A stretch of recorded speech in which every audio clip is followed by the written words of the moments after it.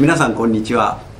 この度は歌唱の篠原地区公園整備に向けた市民フォーラムの配信動画をご覧いただき誠にありがとうございます。今回の市民フォーラムについては新型コロナウイルスの急速な感染拡大によりまして残念ながら開催することができませんでした。そのため動画配信によりまして開催に変えさせていただきますのでご理解とご協力をお願いをしたいと存じます。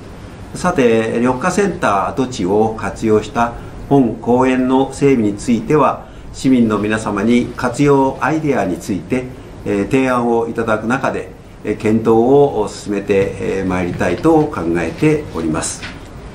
え、昨年度に行いました活用アイデア募集におきましては1680通で、えー、400あごめんなさい、えー、4250件のですねアイデアをお寄せをいただいたところであります。また今年度は市民の皆様に公園について検討していただく場として子どもワークショップとそれから大人のワークショップを開催し今回その成果を発表していただいたところであります。誠にありがとうございます。発表者の皆様には5回にわたるワークショップの中で公園整備のアイデアについて積極的に意見を交わしていただき心から感謝申し上げる次第であります。今回、えー、発表いただきました公園イメージはとても素晴らしいものでありましたが私の方からそれぞれの発表について、え、感じたことを述べさせていただきたいと思います。それでは一般ですが一般については入愛で入愛でつながるをテーマに、えー、視点を生かした学年別のアスレチック、えー、それからカフェのほか子育て支援読書やワークショップを行う複合施設また屋根付き広場でのバーベキューやイベントを行いイベントが併用できる駐車場もありましてイベント会場になりそういったイメージを発表いただいているところであります。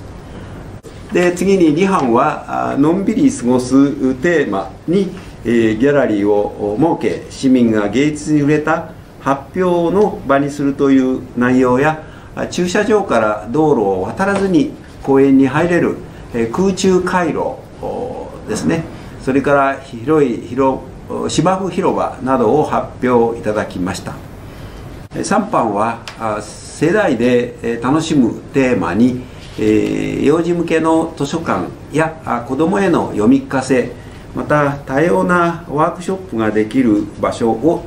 提供し子ども大人地域とのつながりが生まれる場所という提案ワケーションやあイベントなどで大人の交流の場などを発表していただきました。4班は「のびのび遊ぶ」をテーマに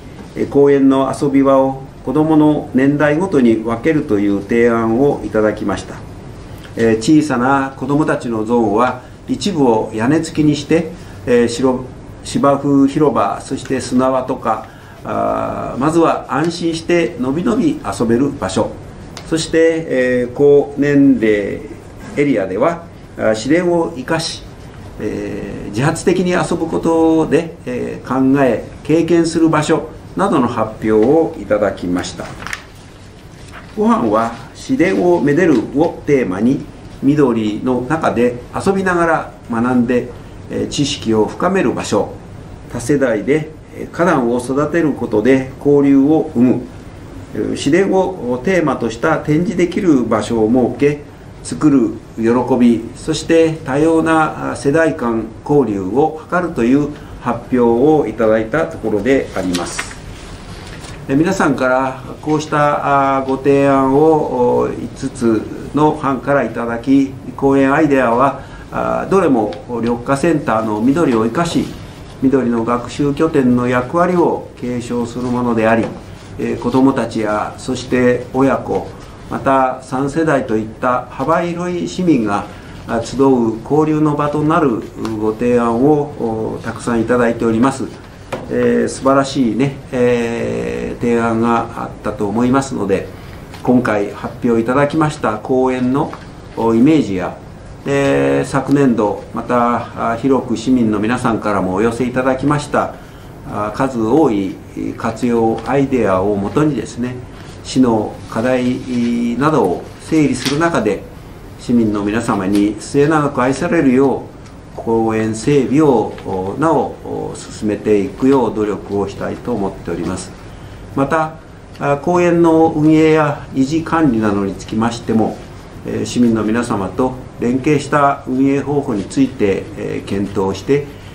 まいりますので今後もですね共同のまちづくり実現のためご尽力を皆さんにもいただきまして私ども努力を重ねてまいりたいと思います。